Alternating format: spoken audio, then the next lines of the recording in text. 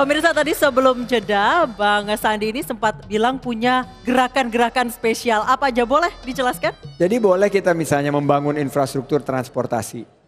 Kita bangun world class, MRT yang kelas dunia maupun. Tapi kalau misalnya warga masyarakatnya nggak tergerak untuk menggunakan itu percuma. Jadi kita akan memastikan bahwa ada gerakan-gerakan untuk menggunakan kendaraan umum, transportasi publik. Kelas menengah yang keren itu seperti di kota lain, kota besar lain di dunia itu menggunakan kendaraan umum. Di Jakarta ini kelihatannya yang keren itu naik mobil pribadi. Padahal harus diubah mindsetnya. Itu untuk transportasi.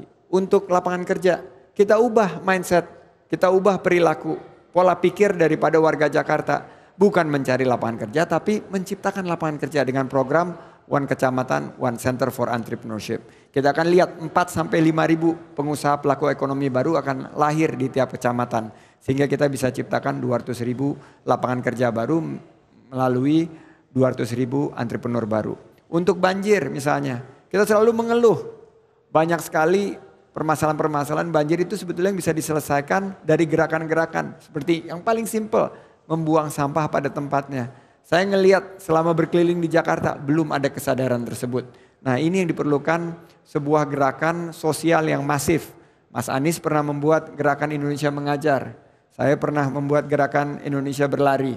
Dan bagaimana caranya warga masyarakat itu bisa berpartisipasi. Nah itu sebuah perbedaan secara mendasar dalam pendekatan kita ke depan.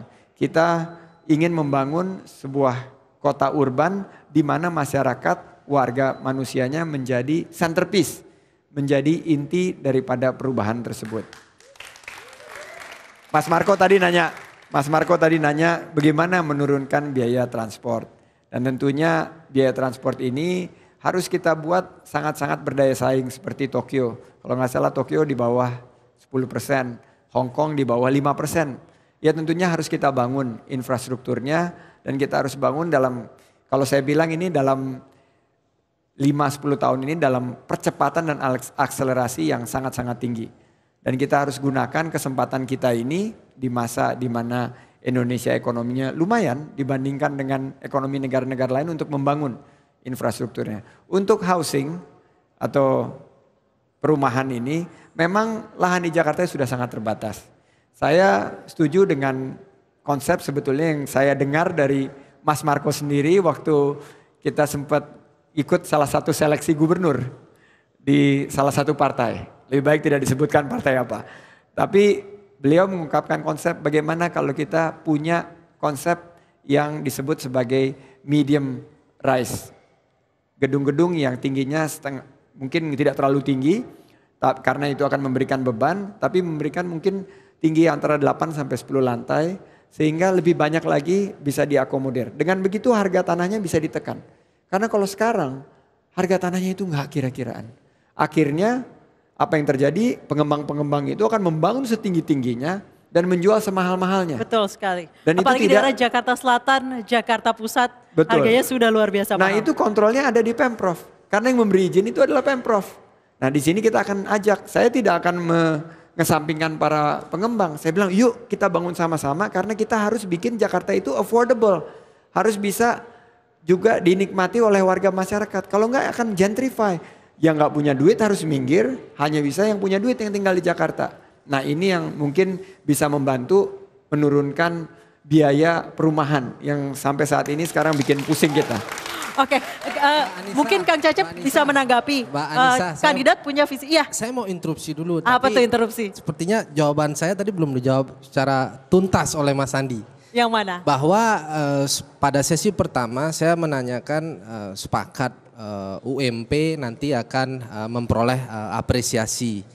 Tetapi uh, dengan apresiasi tersebut uh, ya bisa diakui saat ini UMP dalam uh, posisi yang cukup memadai. Tetapi diikuti dengan tingginya uh, inflasi ya Betul. itu yang pertama jadi ya saya kira bukan rahasia umum kalau harus diberi obat uh, penawar kenaikan gaji tetapi tidak diimbangi dengan uh, kontribusi dan tata kelola keekonomian dari aspek yang paling mendasar uh, saya simak dengan baik-baik tata bicara apa yang Mas Andi sampaikan tadi berupa partisipasi, kemudian saya ingin me memperdalam sebenarnya setelah partisipasi bagaimana apresiasi. Setelah apresiasi lantas bagaimana kolaborasi Mas Sandi terhadap persoalan tersebut. Mengenai storage tadi, uh, apakah dengan menjalin uh, triple P atau public uh, private partnership dengan demikian uh, bentuk jalinan kerjasama untuk meminimalisir harga kebutuhan pokok di DKI ini apa benar akan menjadi sebuah keyakinan bagi Mas Sandi? Dan uh, pandangan saya apa benar uh, nantinya akan menyebabkan minimal satu tahun harga itu stabil diikuti dengan satu Idul Fitri dan uh, tahun baru untuk kebutuhan pokok saya kira demikian. Oke boleh disambung Kang Cecep pertama pertanyaannya Mas Lutfi. Oke baik uh, terima kasih Anissa uh, selamat petang Bang Sandi dan juga hadirin. Ada tadi sudah disampaikan Bang Sandi bagaimana timnya Paslon 3 ini ingin membangun manusia ya. Oke, berangkat dari situ kata kuncinya adalah indeks pembangunan manusia. Bagaimana kemudian Paslon 3 ini itu bisa apa mengelaborasi ya, misalnya bagaimana meningkatkan jumlah dan pemerataan pendapatan, bagaimana juga uh, menciptakan pendidikan yang mudah dan terjangkau serta bagaimana meningkatkan kualitas uh, kesehatan. Nah, berangkat dari poin ini semua, misalnya tadi ya, masalah uh, pendapatan itu kemudian disambungkan dengan OKOC tadi ya. Tapi kemudian ya uh, apa uh, dia tidak ingin menggunakan dana APBD, tapi dengan menciptakan UMKM dan kewirausahaan. Nah, bagaimana ini mensinergikan ya dengan uh, kebijakan? Kan tadi dibilang ada masalah, solusinya adalah bagaimana solusi yang diberikan oleh Pemprov. Bagaimana mensinergikan ya masalah ini ya dengan kebijakan yang keluar jika nanti paslon 3 terpilih. Nah, yang selanjutnya tadi ya masalah pendidikan. Tadi katanya ada special weaponnya itu Mas Anies gitu. Tapi kemudian ketika kita bicara pendidikan, ini sistem pendidikan nasional. Bagaimana kemudian se sebagai Pemprov ya mengatasi hal tersebut? Akan ada paradoks misalnya ya ketika kita ingin menciptakan sistem tersendiri di Jakarta, padahal ada Sisdiknas misalnya. Nah kemudian yang ketiga ya ini masalah komunikasi. Tadi sudah berlari ya ke seribu titik misalnya. Nah tapi kemudian ini kan Mas Anies, Bang Sandi ini adalah komunikator politik ya. Bagaimana kemudian tiap komunikator punya pesan yang disampaikan. Nah, saya perhatikan dari media yang saya baca misalnya ya, kadangkala uh, ketika menyampaikan pesan, message ya, baik itu langsung ke ya, yang warga yang ditemui, itu kadangkala tidak apa ya, menyerang paslon satu dan dua misalnya. Jadi kesannya adalah justru tidak mendapatkan simpati, tidak khawatirnya adalah justru ah kok jadi malah menjelekkan yang lain gitu. Yang sebaiknya adalah kan membuat uh, kampanye yang positif terhadap pasangan ini sendiri. Okay. Tiga Langsung hal itu, saja. terima kasih. Langsung saja Bang Sandi. Ya tadi mungkin menanggapi dulu Mas Luki.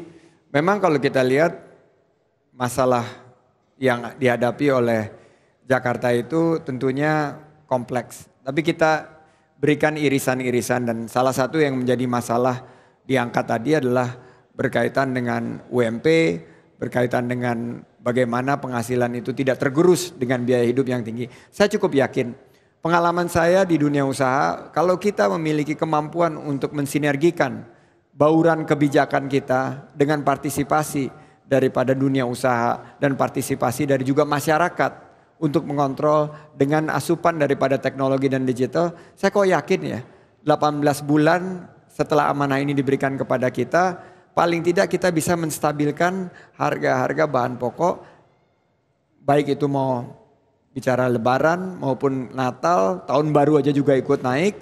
Itu saya yakin. Kenapa? Karena saya mengalami itu juga waktu menjalankan dunia usaha bagaimana mengamankan pasokan.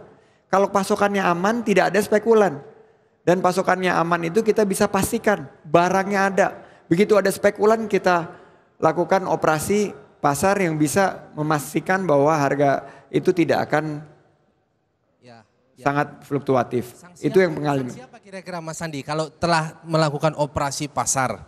Kira-kira sanksi apa yang akan ditetapkan dan ditegaskan oleh uh, uh, paslon nomor tiga? Bila mana operasi pasar yang uh, dilakukan mendatang memiliki temuan-temuan adanya spekulan, adanya penimbun dan sebagainya. Dan itu eh, adalah persoalan yang fundamental yang mempengaruhi harga itu tetap tinggi. Karena selama ini hanya memang hanya saya, operasi saya pasar. butuh jawaban eh, bagaimana tindakan kemudian ketegasan Mungkin mengenai operasi konkretnya, pasar. ketegasan Ya kalau apa? langkah konkret kan penimbun itu kan merusak stabilitas, itu saya serahkan kepada aparat dan pasti ada tindak pidananya kalau menimbun. Tapi bagi saya sebagai seorang yang dulu dari dunia usaha nggak akan berani melawan misalnya kita punya pasokan empat kali lipat dari yang dibutuhkan oleh pasar. Nggak akan berani orang nimbun. Begitu kita tahu saingan kita punya kemampuan dan punya nafas untuk memastikan bahwa kita punya pasokan dan kita punya kemampuan untuk menggelontori dengan pasokan yang kita miliki atau supply yang kita miliki. Makanya kalau kita bikin giant warehouse, warehouse yang raksasa, gudang yang raksasa itu pasti tidak akan berani. Dan di situ kita gunakan kesempatan kita dengan keterbukaan. Begitu kita terbuka dan kita kasih sanksi sosial kepada perusahaan-perusahaan yang melanggar, itu insya Allah dari pengalaman saya kita bisa menjaga stabilitas harga. Nah ini yang menarik. Oke, Bang Sandi kita akan jawab pertanyaannya Kang Cecep, tapi kita mesti jeda dulu dan setelah ini kita akan kehadiran tamu spesial yaitu salah satu warga Jakarta. Kita akan kembali usai jeda. Tetap bersama kami.